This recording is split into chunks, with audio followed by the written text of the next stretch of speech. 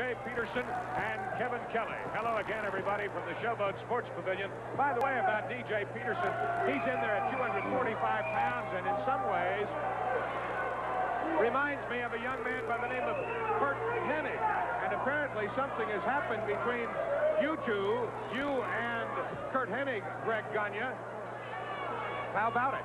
Well, there definitely is, Rod. And, uh, I just want to concentrate on this match with DJ Peterson. I want to forget about Curt Hennig right now because I get a little steamed up when I even think about him.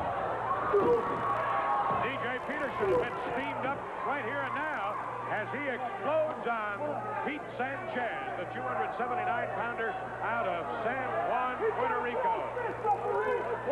Rod, uh, DJ is coming off a back injury suffered at the hands of Kevin Kelly, and that thing is still bothering him. He went to do that leapfrog over Sanchez there, and he couldn't quite get up, and I got to believe that's because of his lower back, the injury to it at the hands of Kelly. Oh. Those back injuries Atomic drop there. DJ Peterson bouncing, and I mean literally, bouncing Pete Sanchez out of the ring. Well, Sanchez thought he better dive out of there, Rod, before it was all over for him. He took a great shot with that. Uh, That's got to sting you from your tailbone all the way up to your shoulder. It definitely does, right up to the back of your head. You ever move your head quick and get that shock up in the top of your head? I'm sure everybody's yeah. done that. That's what it feels like, and boy, it just numbs you all over. What a tremendous physical specimen right there, D.J. Peterson. And talk about a man who is really, really making a name for himself in the world of professional wrestling here in the AWA. It is indeed D.J. Peterson. There, a small package by Peterson in the cradle. However, he could get only a two count. D.J. is a good athlete. Moves fast up there, great agility. Tremendous body on him. Good-looking young man. He's got everything going for him. And I know one man he wants really bad is Kevin Kelly. He's got to score the him. Oh, yeah. Oh, yes, indeed. We said after that match a week ago that we had not seen the end of the war between those two. D.J. Peterson won by disqualification after he was thrown over the top rope by Kevin Kelly, but that's not the way he wanted to win that match. Kelly now with a side headlock on Pete Sanchez. Peterson with the side headlock. I beg your pardon. Here we go.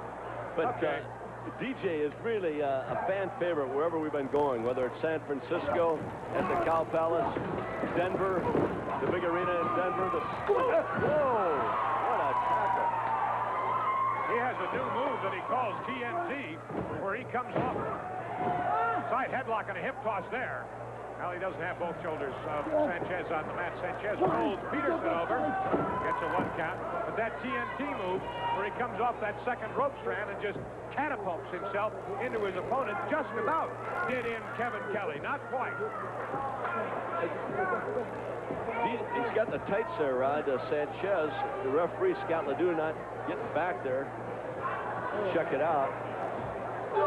Recently, we were in Boise at Boise State University and Idaho State and at uh, Oregon up in Eugene for some fundraisers for the wrestling teams. And boy, DJ Peterson caught on fire up there. When you say TNT is hold, this young man is full of dynamite. He's on fire right now. And Sanchez, I don't know if he can put out that fire. Here comes the move we're talking about, TNT. Oh, he hits him with that shoulder, looks like right under the chin rolls him up. Almost rolled him too far. Scott Ledoux down at three on Sanchez. Your winner, DJ Peterson. TNT. Peterson rolled him up, and Ledoux counted him out. Here it is. Ooh. Tremendous shoulder block using uh, using those ropes to his benefit in that 240 pounds.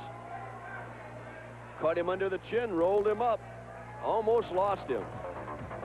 Scott Ledoux didn't have a very good position there to count him down, but he got the three count. That's all that counts, Rob. My shot.